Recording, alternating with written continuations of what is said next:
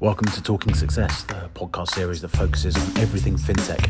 I'm your host, Darren Franks, and each week I'll be joined by a series of experts in the field who have a wealth of knowledge to share. Uh, it's time to meet this week's guest, so grab a coffee and let's start talking success.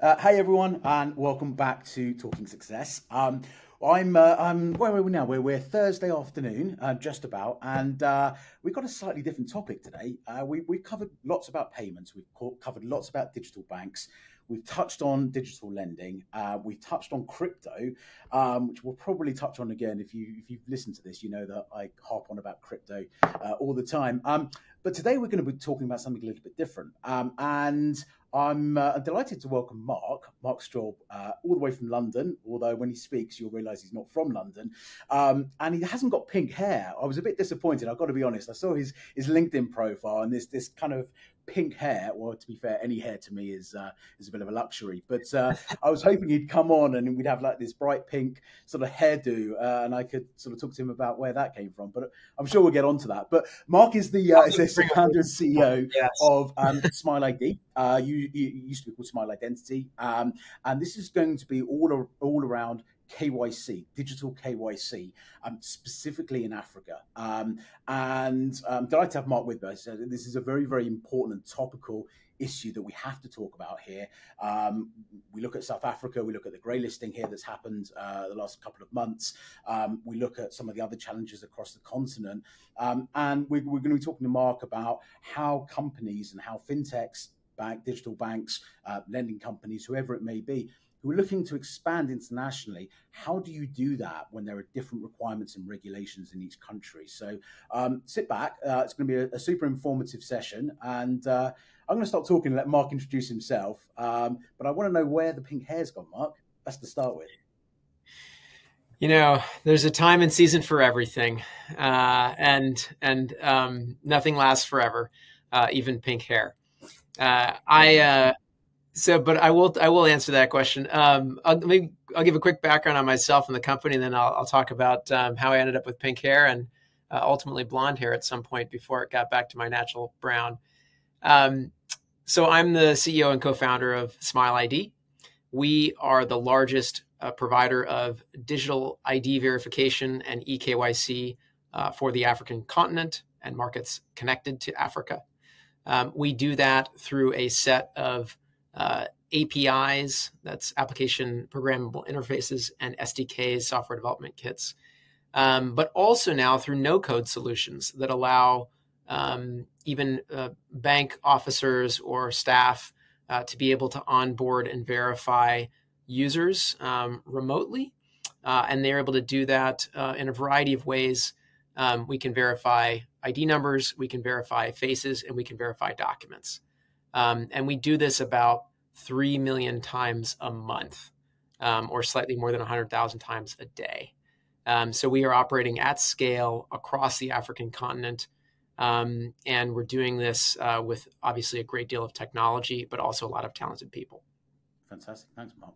Um, let's start first of all in, in terms of coverage. Um, so, which well, you know, list more? How many countries in Africa? Uh, given there's sort of 53, I'm not expecting you to list every single one, but uh, uh, how many uh, African countries do you support? Yeah, great question.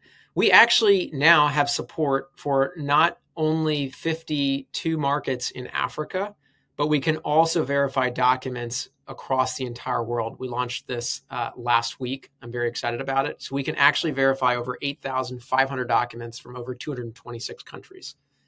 Um, our core focus is, of course, the African continent.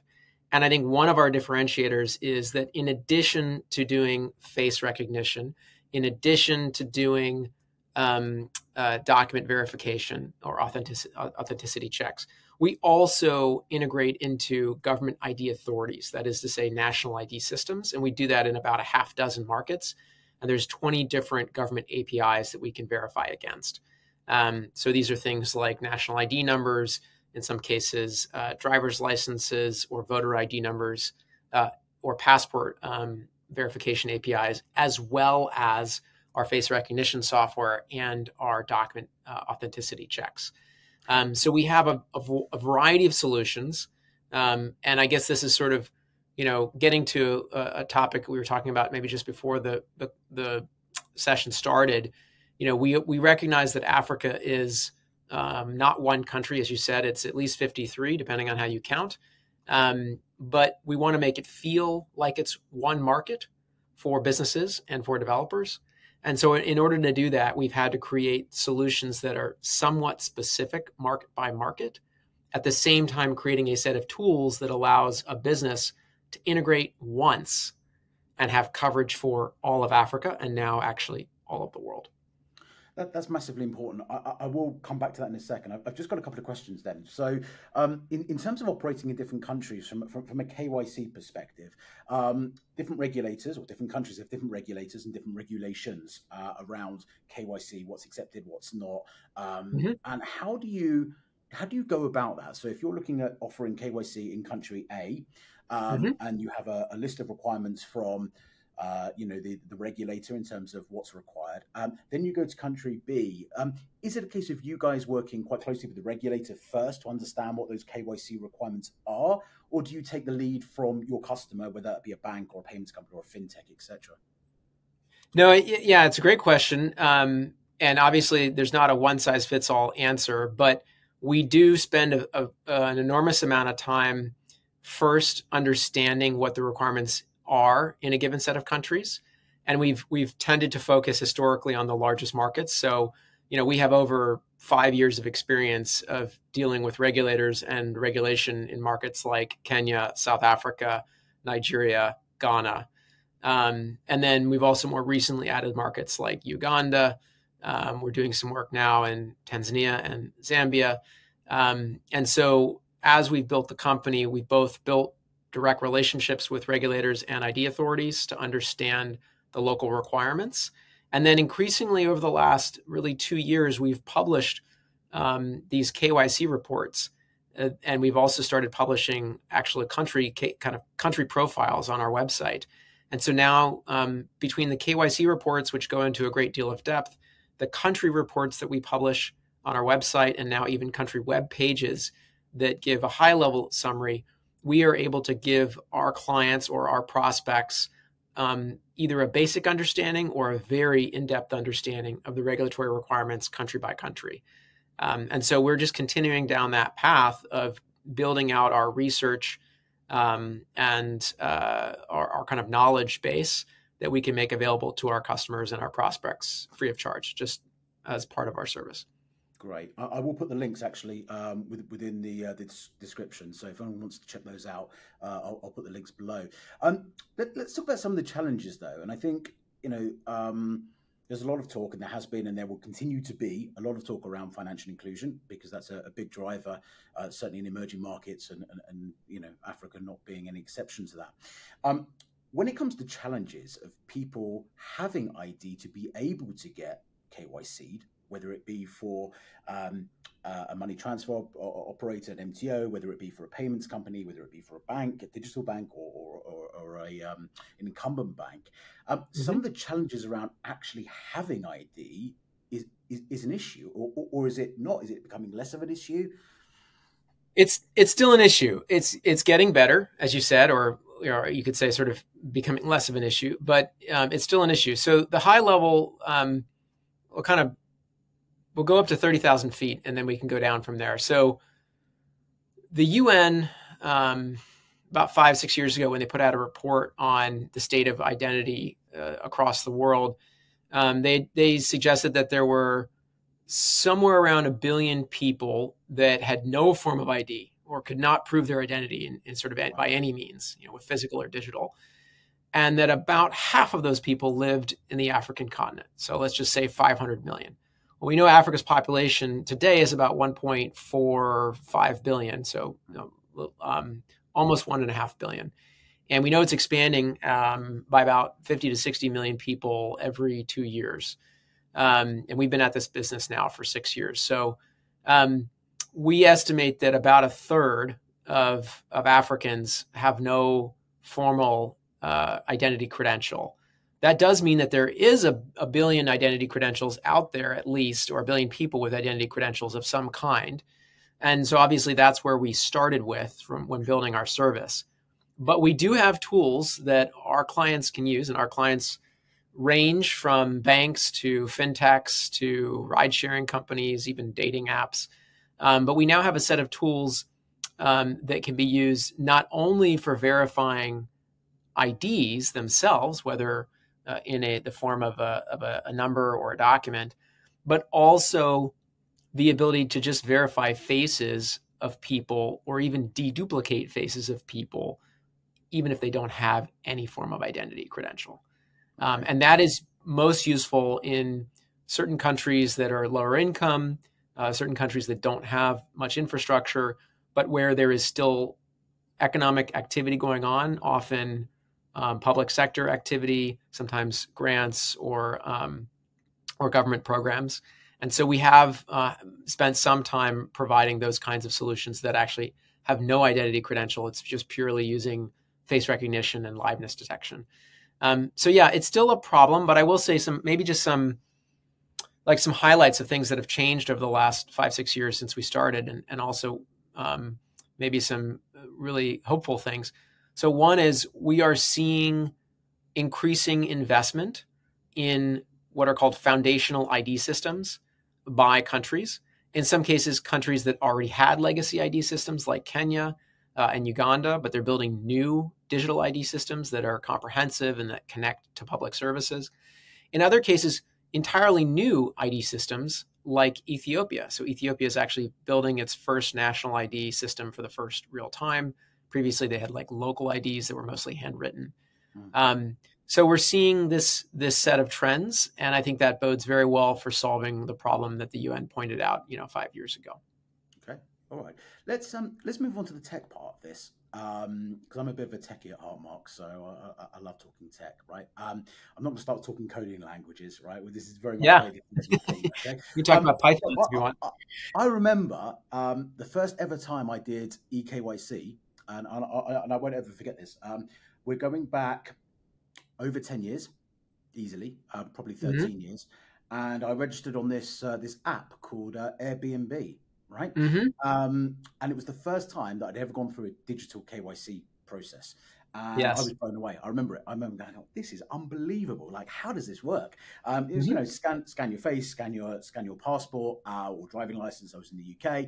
Uploads took, I think, a day or maybe shorter, and then I got you know the verification tick. Um, now, yeah. how has technology evolved? Obviously, 13 years ago to now, in technology terms, is like you know 100 years, maybe even more. Um, how have things developed or emerged from a technology perspective? Um, then I want to come on to uh, another topic which is very close to my heart, which is uh, AI and deep fakes and things like that, right? So we'll come on to that yep. in a minute, but let's talk about the evolution. How, how have things changed from then to now? Yeah. So if you want to think about um, identity, I think of it, it, Sometimes the U.S. is a good um, reference point for understanding what's happened before, because there's a lot of history uh, and legacy investment that's happened in that market, and then you can use that as a as a comparison to say, well, what's going on today, and maybe more dynamic or emerging markets, whether in Asia or in Africa. Um, many people don't think about identity as a sector um, because usually identity is a is a concept that's tied to some other sector, um, telecom, mm-hmm. uh, maybe financial history, credit bureaus, et cetera. But if you really want to think about, I have this slide that I that I talk about in um, in in some of the presentations that we give, and I'll see if I can maybe I can share a link to it afterwards, and you can put it up in your in your post.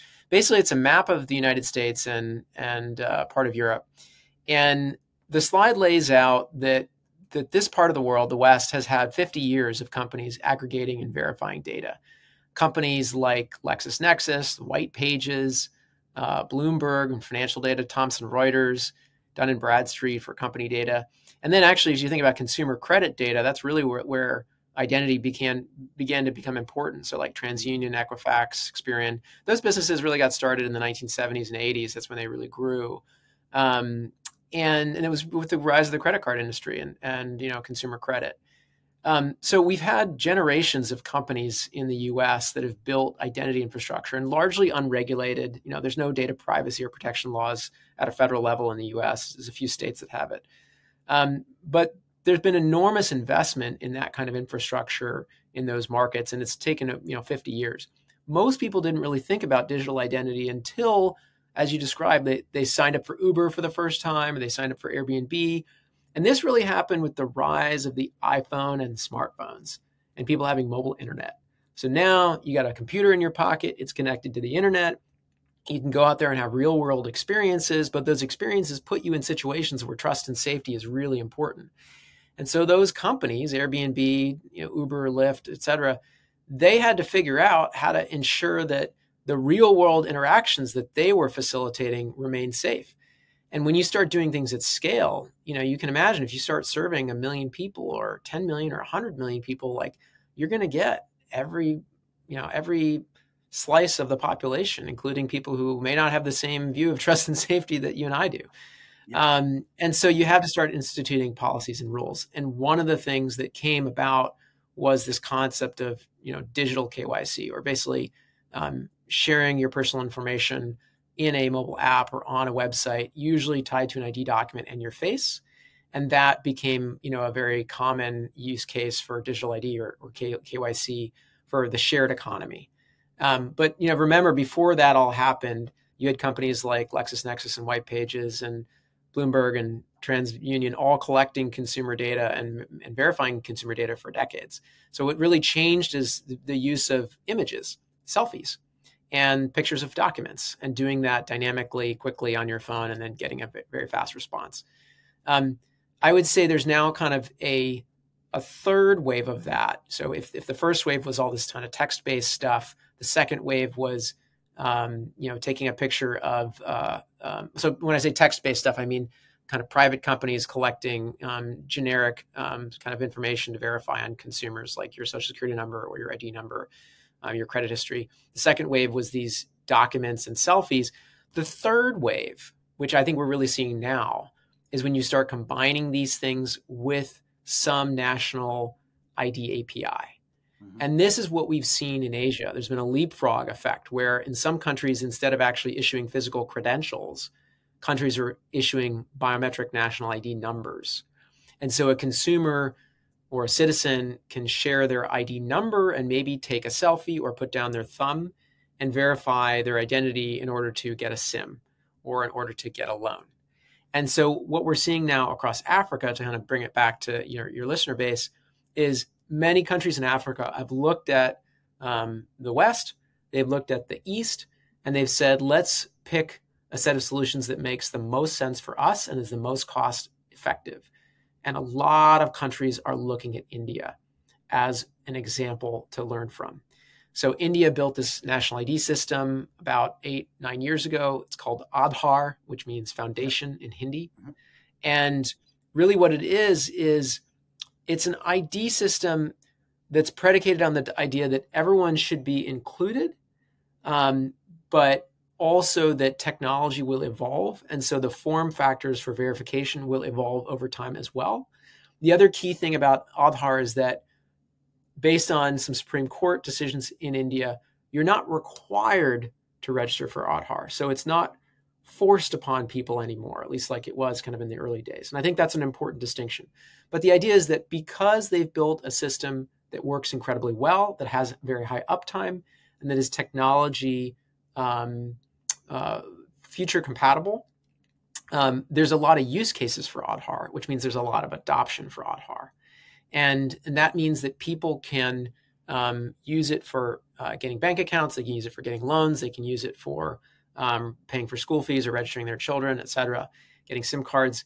Um, and the way that we're seeing this play out in Africa now is countries are trying to replicate some of the things that India did. They're building it for their own use cases they're focusing on getting people registered as opposed to focusing on issuing a physical document all the time. And once they get people registered, they're trying to figure out multiple ways that they can authenticate them. So, yes, maybe there's a physical document that you can look at or inspect, but that may not be the only way you can authenticate. You could also authenticate um, by uh, maybe an OTP to a phone number that's tied to that ID number, or you could authenticate the way we try to do it, which is taking a selfie and matching that that selfie to the photo on file inside the government database. And that's a very powerful form of authentication. It allows people to authenticate remotely from wherever they are with the device they've got in their pocket. And that's really the, the future that we're helping to bring about. Great. Um, okay, there's, there's, there's, I've got loads of questions, but um, I, yeah, I'll, try and, I'll try and cherry pick them because uh, I appreciate you haven't got all day. Um, let's talk about uh, the emergence of AI um, mm-hmm. for not for good, but actually for uh, you know that's a very small percent of the population who are trying to you know cut corners and defraud, uh, of which yep. there are. You know, synthetic IDs have been something that you know has been around and is still around. Um, although I think those numbers have, have, come down considerably over the last few years.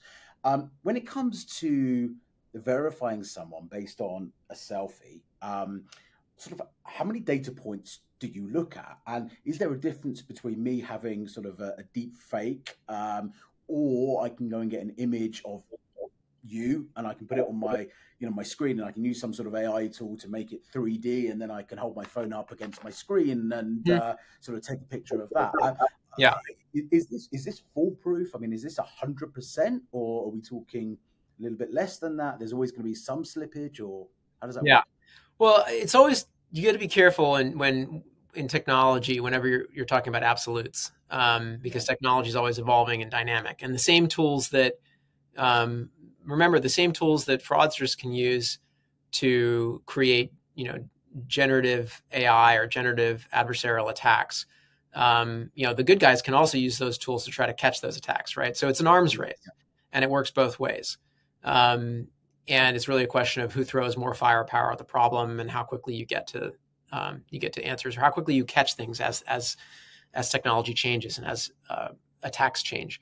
Um, mm. so I'll talk a little bit about what we see today, and then I'll talk about what we expect to see more of in the future because I think those are different. Sure. Most of what we see today is still what I would call very unsophisticated fraud. So people typing in ID numbers that aren't real, and then we basically can verify that it's not a real ID number because we can just check it against a government database. Um, or people um, trying to upload a photo of a photo, as you said, like I'm going to take a picture of something, take a picture of a screen, or I'm going to try to upload a, a, frame that I got from somebody's Facebook account, but it's actually not liveness image. So that's kind of the mo- most of the more common fraud we see that stuff is relatively easy for us to catch. And, you know, we do it every day, thousands of times a day. Um, and keep in mind that like, like most criminals, most fraudsters are looking for the unlocked door. And so they're checking doors to see if they can find one that's unlocked. And, and so if you think about this, if you think about a neighborhood, you know, a criminal may come to a neighborhood and they're looking for the one door that's unlocked. And if you've got better locks than everybody else, you're probably safe. But if you don't have any locks, you're probably the one that's going to get hit. Um, so a lot of that still happens in the markets where we operate. It's the guys who, it's the companies that didn't invest in security. They didn't do digital onboarding. They didn't, they didn't take, they're not checking biometrics. They're not checking for duplicates. They're not doing liveness tests. Those basic things, which we provide today and which we've provided for five years, you know, that's going to catch more than half the fraud and probably 90 plus percent of the fraud, at least that we see today. Um, so we mostly just encourage people like do the basics. You know, use a KYC provider. If you don't use us, use somebody else. Um, at the appropriate risk level, ask for selfies, do biometrics, do liveness checks. Um, and then the second level of degree of fraud we see is what I call duplicate fraud. So that's where it is a real person showing up.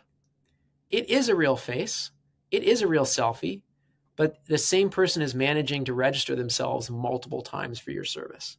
And they may be doing that because you've created some incentive for them to do that.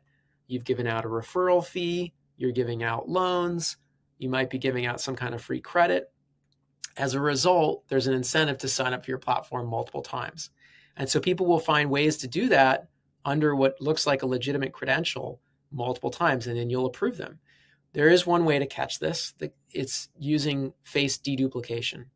So that means that every time somebody signs up for your service, even if it's with a different credential, if you are in real time checking that new incoming face against other faces that you've registered, or if a set of known bad actors that you've registered, then you can catch those faces in the moment and stop them from signing up the second time or the fifth time or the 80th time. You know, we've seen attempts sometimes as much as 80 times. Um, we have a tool that does that. It's called Smile Secure. It's a real-time inline face deduplication engine. There are some other companies that do similar things, but that's a really powerful tool for catching this sort of what I'd call kind of like not basic fraud, but slightly more sophisticated fraud. Now we come to the third tier, which is kind of the future stuff. And that's generative AI, synthetic fakes, deep fakes. And that's the stuff that I think we're going to see more and more of in Africa. Of course, um, many lending companies have seen a lot of this in the last year or two in the US, but we're now just probably at the dawn of seeing it in markets like Africa. Um, so there's a few ways that we can stop this. One of the ways is by checking against government databases.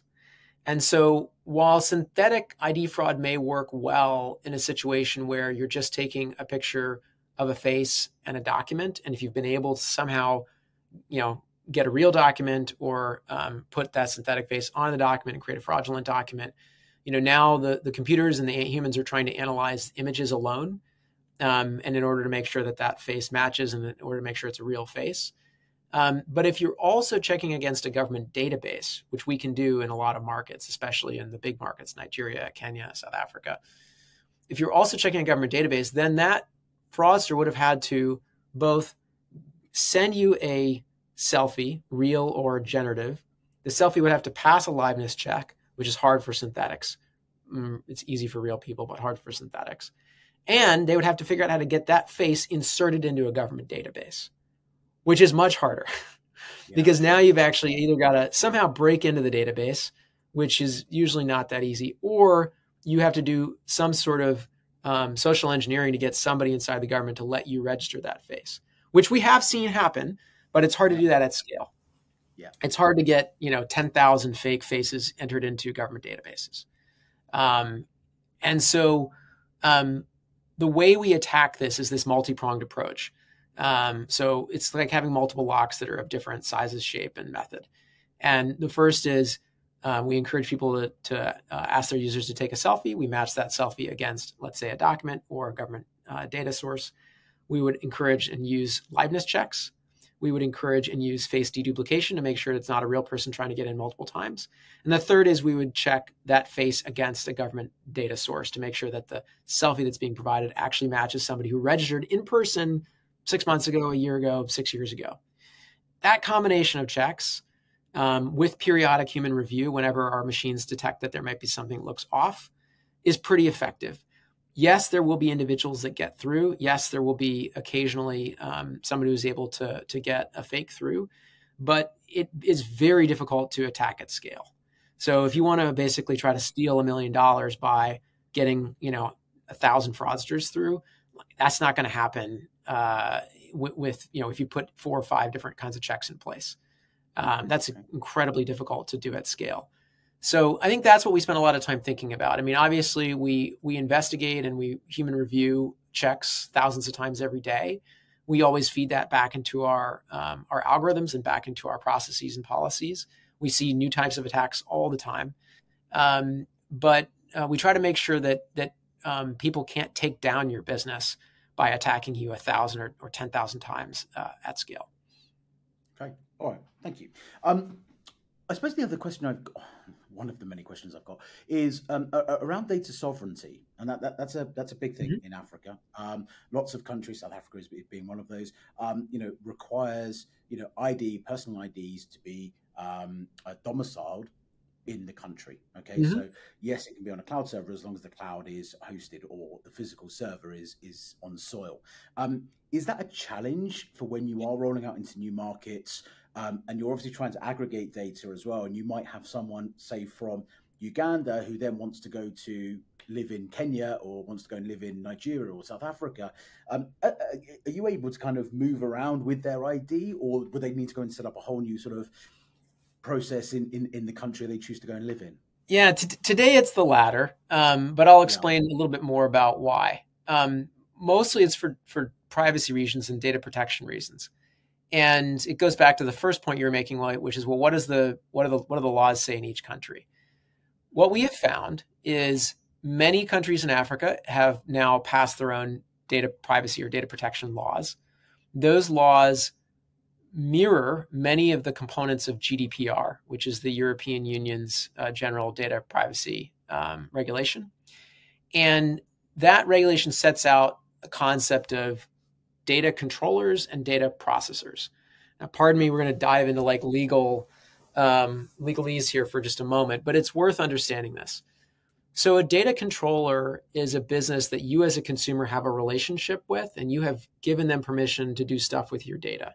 And if they want to do things with your data um, that you haven't given them permission for, they're supposed to come back and ask you, or those things have to be very specific uh, exceptions approved under law, national security in some cases, public safety, and a few others.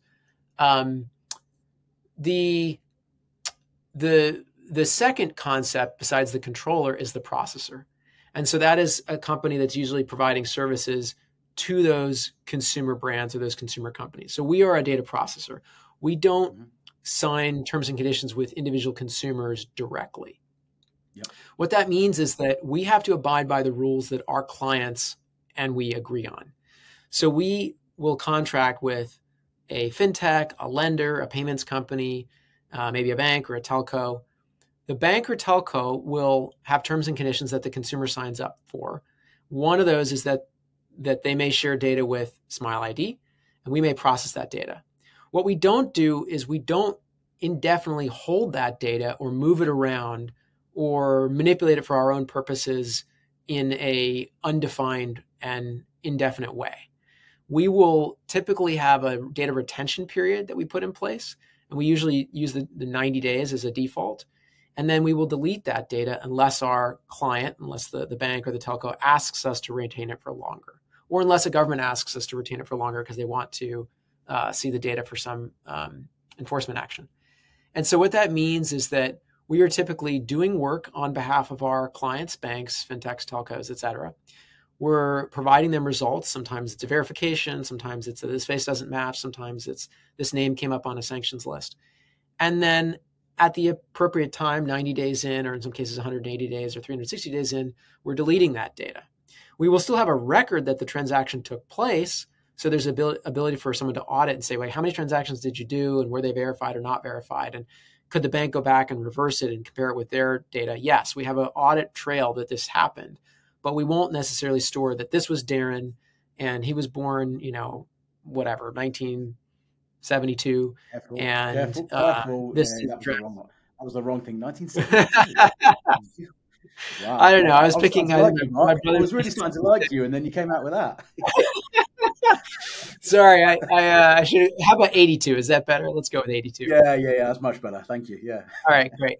Uh, I was born eighty-one. Um, okay. So, so my point is that that rather than retaining all that data indefinitely and sort of creating a treasure trove that is attractive to hackers, we're basically regularly purging that data, and we're doing it on a on a dynamic basis per the agreements between us and the data controller. And um, occasionally there are times when we may retain data for longer, and it's usually tied back to, again, some very specific purpose that we've laid out with that client of ours, which again needs to be shared with the end, consumer. Um, so that is sort of how data protection works, both in Europe, but actually in many countries in Africa. And then there's slight nuances in Kenya, obviously in Nigeria, South Africa, Uganda, et cetera, but they all generally follow that formula.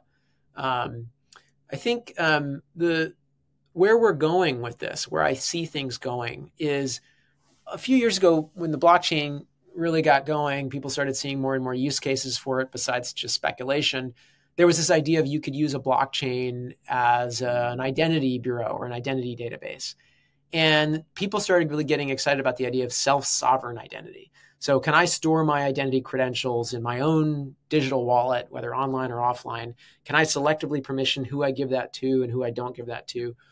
That's a really neat concept, but it doesn't work unless you have clearly defined protocols that everyone uses, right? So, if like if if Visa's on one standard and Mastercard's on another, and Google's on another, and Facebook's on another, and Apple's on another, like having a self-sovereign identity doesn't it's like it's not very useful it's like it's like if you created your own there's a great example i think that i live now i live in the uk there's some islands like off the coast of the uk where people have like declared that that little island is its own nation and yeah. uh, you know they print their own little passport and there's like two people that live on the island Well, that may be all fine and well. They've got their own passport. They live on an island, but they're on an island.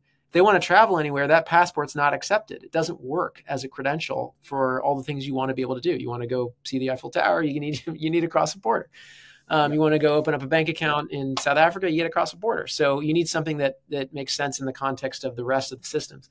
What I have increasingly heard about, and I think there are companies now pursuing this, is the idea of actually creating a standard, ha- probably having one of the large or multiple large businesses work together to create an open standard that would allow other companies to plug into it. It wouldn't necessarily be self sovereign identity, but it might be the idea that there's a set of uh, a set of standards that um, the consumer could, let's say, open up an account with any company that joins those standards, and then the consumer could either permission or retract that information. And if other companies are all joining in on that standard, then the information is only shared as and when the consumer is giving that permission. So it is like another, you know, another form of internet. But the idea you could hear, you could use a blockchain here because you could basically have um, an ability for it, a blockchain is just it's just a database that multiple people can read and write to. That's all it really is. Um, and so if you have a database that has read and write capabilities, but you can have many different entities that are allowed to be on that database, then it's just a question of who's allowed to read and who's allowed to write.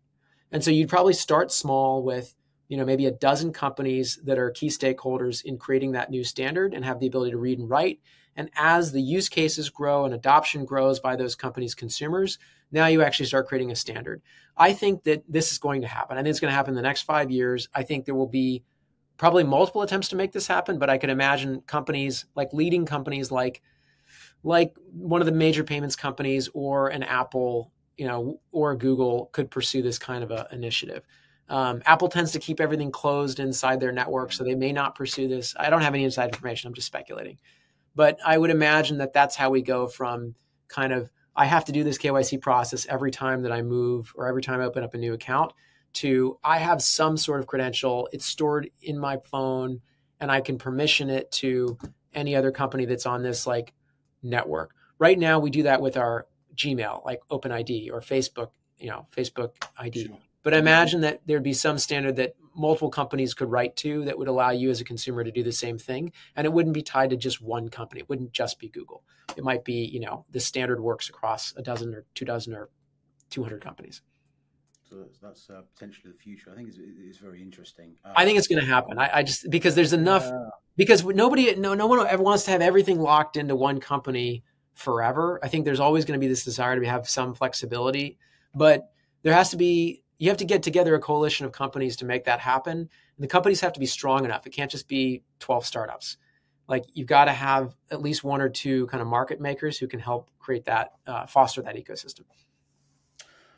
I just want to cover, two things before we go. Um, so I appreciate I've kept you nearly an hour. So uh, uh, uh I hope, I hope your listeners find this interesting. if they're yeah, still, well, will. Make, we, we make sure they do. Okay, yeah, absolutely. Um, so Mark, I, I, when it comes to um, the deployment of Smile ID uh, mm-hmm. for within a client. Um, am I correct in saying this is like an embedded solution? So um, a, uh, a user would go onto a bank or to a payments company, they would register, they would then go to authorize it, and it it launches within the bank or within the, the fintech's application rather than sort of having them having to download a Smile ID app or anything like that. Is is that how it works? That's how it works today. I'm really excited to say we've actually so yes, we have SDKs and and developer tools that would plug into our clients' applications. So the consumer is yeah. really staying within the bank's experience or the lender's experience.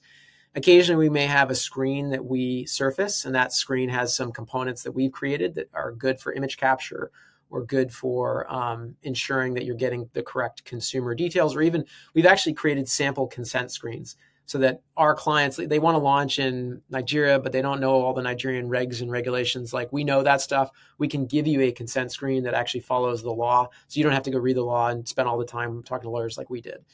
Um, but um, where we're going and where we've actually just launched, we've launched a new product called Smile Links. Smile Links works like any other internet link that you can create, like a Bitly link or a tiny URL link. So if you are a if you are a customer of Smile ID, if you're a, a, you know again if you're a bank, a lender, a fintech, uh, a ride sharing app, whatever, you even even health insurance companies uh, can do this. You go into the portal that you have access to, the enterprise portal, and instead of having to go to the developer tools and write a bunch of code to embed this stuff into your application, you just click on this thing called Smile Links, and it's like a it's like a very simple web page where um, you can select the countries that you want to accept identity credentials from. Then within that country, you can select which credentials you want to accept. Okay, so uh, South Africa, I want to accept the national ID and the green book. I don't want to accept driver's licenses because that doesn't work for whatever it is I'm doing. Maybe I'm doing crypto. Um, and then um, you can then select which verification method you want to use. We have uh, three different verification methods. One is we're, we're just verifying an ID number. Another is we're verifying an ID number and the document, and the third might be we're verifying um, an ID number of face and the document against the against the um, national ID system. So some of those methods include biometrics, other ones don't. So you can choose that. You choose the country, you choose the ID type, you choose the method of verification. Then you click create. Boom, you get a link and a QR code. You can send that link and QR code to your consumers. You can do that over email through your your company's email system. You can do that over WhatsApp if you're running a WhatsApp campaign. Um, but the point is now, without writing any code today, you could go set up a KYC flow and you could send that out to your user base and get started literally in like two minutes. And so this radically reduces the cost of integration and launching an app um, and, and launching an onboarding process. You don't need mobile developers. You don't even need developers. Um, so we're really excited about this. It's called Smile Links. It's going to totally change the way that that companies get started. Because used to be that you have to not only sign a contract and you got to do a bunch of preparing work and then you got to do like two sprint cycles to get everything integrated. Now you can literally do this in two minutes. Um, and so I'm really excited about this. It also allows companies that don't have large IT departments or large developer teams to get started today. So maybe you're running an agent network in Tanzania or in Kenya, you need to onboard agents or you need to onboard consumers. You know, you can go create a bunch of links, onboard those consumers, like starting this weekend. Um, right. So Smile Links is sort of personalized. Mark, they're, they're, sort of personalized links, are they? So um, the, the, the, there's some data that will be sort of pre-filled when you click on the link. It's got your like your name or whatever it may be. Great, great question. You can. There's two options. So I didn't mention this, but you can toggle to a single-use link or a multi-use link. So a single-use link would be like, I'm going to onboard Darren. Maybe I've hired Darren. He's going to be an agent for me. He's going to, you know, um, sell insurance in uh, Nairobi, uh, or I know you're in South Africa, so maybe he's going to sell insurance, uh, um, let's say in Joburg. And I'm going to send Darren this link, and I've created a custom link for Darren that is only South Africa and only these ID types, and he has to do this kind of method. And I'm going to send that out as a single use link. So once Darren clicks on it, the link and completes the process, like that link is done, it goes dead. You can also you can toggle over to do what's called a multi-use link. A multi-use link would be like I'm going to create a lending application. That lending application is going to be sent out, you know, in this set of channels, and we may get 500 people that sign up. We may get 5,000 people that sign up. That sing, that multi-use link can be used over and over and over again. And in that multi-use link, you may decide I'm willing to accept people from Ghana, Nigeria, uh, Togo, and Benin. And you know, for Ghana, I'll accept these three credentials. For Nigeria, I'll accept these five. For Togo, it's only these two. For Benin, it's these two. And now you can send that out. So it's it's you have the flexibility. Literally, you're clicking on you know three four buttons, and you've got a. And also, it's the link's not not only a link. You also get a QR code. So if you want to send out a QR code to somebody because you think that's going to be an easier way to display it, um, you can do that too. So yeah, it's a totally new way of getting started with KYC. Eventually, people may decide, hey, look, we're really scaling. We're launching mobile apps. We want to move to a deep, deep integration. You can always do that. But if you if you want to get started and, and kind of not have to wait or suffer through the pain of you know mobile integration, now you can get started literally in a couple of minutes. And, and those links are like uh, uh, sort of dual branded, are they? So they've got the customers kind of logos yes. on them and it talks about that. So it doesn't it doesn't come necessarily from smile id it comes well, from it, it does come from so just be clear when we when we so that's a fully hosted solution that we launched. So it is a smile id uh, uh, link. So you're sending a yeah. consumer to a web page that we host that smile id controls and hosts but it's co-branded with your business. So you know if you're doing this from a certain bank or from a certain yeah. company you can you can uh, add those logos. And, and obviously you can also customize the messaging you can tell the consumer, you know, hey, sure. this is what you're doing, this is why you're doing this, is what's going to happen next. Well, listen, I think it's a, it's a fantastic product for you know for early stage startups um, who are you know maybe at POC or maybe they're in a sandbox environment or maybe they're just starting to go live. Um, need a KYC solution, perhaps don't have the budgets to start deeply embedding something um, or don't have the time. Um, you know, if they can just plug in and you know create a link, um, hey, that's uh, that's a big headache taken out, right? and they don't have the compliance headache either. That's absolutely right. I'd say one more thing, which is if you're if your listeners uh, are running startups or running companies and they want to try this out, uh, if they message us um, through any of the channels or if they get in touch with you directly and they let they let us know that they heard about us through the Talking Success uh, podcast, we're happy to extend $100 worth of free credit so they can get started. Oh, wow, that's very kind of you. Thank you. Uh, we will make sure that uh, we publish that and uh, get as many people as we can kind of on board. It sounds honestly, it, it sounds great. I, and by the way, everyone, I, I didn't know about this, uh, so uh, I wasn't aware of that. So, no, Mark, listen, that, that's super, super cool. Um, I, I, was going to sort of say, you know, how do people get in touch with you? But I think you just kind of uh, uh, touched on that. Um, so X, because we can't call it Twitter anymore. Uh, yeah. LinkedIn. Um, yeah. Know, so it's, so it's, uh, it's usesmileid.com. That's our website. Okay. You can also find us on X, formerly known as Twitter. Um, and uh, our profile is also uh, use Smile ID. Um, and you can find me online as well. I've been on Twitter since I think I think I've been on there since like 2007. Um, so I'm Mark Straub uh, uh, on on what Mark I'm, Twitter I'm slash X slash Elon Musk's company, however we want to call it. yeah, no, that's fine. Listen, I'm going to put all the links um, to the bottom of, of, of this. And as, as Mark's kindly said, if anyone uh, reaches out to, to him or to the team at Smile, uh, Smile ID, and they mention that you heard this on, on Talking Success, then uh, you get a hundred dollars worth of credits to uh, to play around with, which I think is very very generous. Um, That's so right. Thank you. Thank you. You have to um, onboard and make sure that you complete our, our KYC process because we need to make sure you're a real company. But uh, once you go through that, uh, it's pretty easy to give you credits. Yeah, absolutely. Yeah, uh, I, I think you've got to try it out anyway, right, to see what you're buying. So, uh, so that makes sense. Uh, listen, Mark, I, I, want to thank you for your time. Um, I know you're in London. I know you're uh, you're busy with uh, a lot of money uh, that you've raised as well. So, spending that must be a hard job. well, trying try to um, make sure we don't spend too much of it, and making sure we're actually delivering for our customers. I think everyone's well, trying to. That's, that's to. Um, however, we have missed something. I'm afraid, and you started off by telling us you're going to tell us the yes. story of the pink hair, and you'd never got round to it. So I'm not going to let you go until that's uh, until you've divulged everything. Right. Where did it come from, Mark? Come on. Yeah, great question. About a year ago, a little more than, um, you know, we were on one of our all hands calls, and I was really pushing the team on a particular metric, and uh, we use something called OKRs, like uh, objective objectives and key results. Um, and I said to the team if they hit their OKRs, uh, I would dye my hair pink. And I did it because one of our team members actually had like a streak of pink hair. And so that's sort of how the idea came to me. I was just looking at her profile and I thought, hey, there's like an idea. And it's pretty outside of my, I don't know, for people who know me, it's like a very, it's not something I would traditionally do. so uh, I kind of said it in jest. And I really, I, I only thought there, I didn't really think it was probably going to happen. But but then it actually happened uh, at the end of the quarter, and things were really going well. And we had an all hands uh, offsite coming up in Kenya. So the night that everybody arrived, I decided to make my way down to um, uh, the Yaya Center, which is a little shopping center yeah. in Nairobi.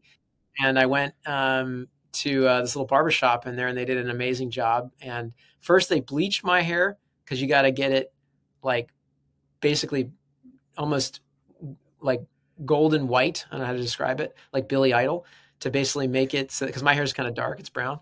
For those who are listening, and then you got and then you put the dye in, and the dye was called Manic Panic, and it was given to me by one of our teammates. And uh, yeah, it took about two and a half, three hours.